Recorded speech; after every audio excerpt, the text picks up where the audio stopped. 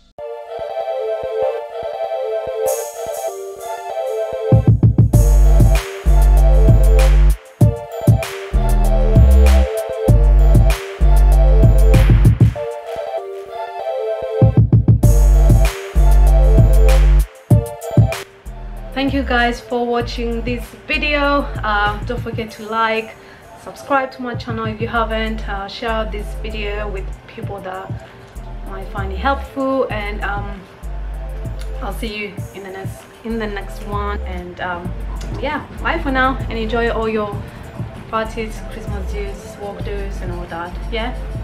Enjoy time with family as well. So see you soon.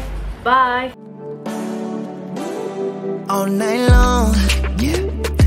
We dance with our razor tongues and all day long.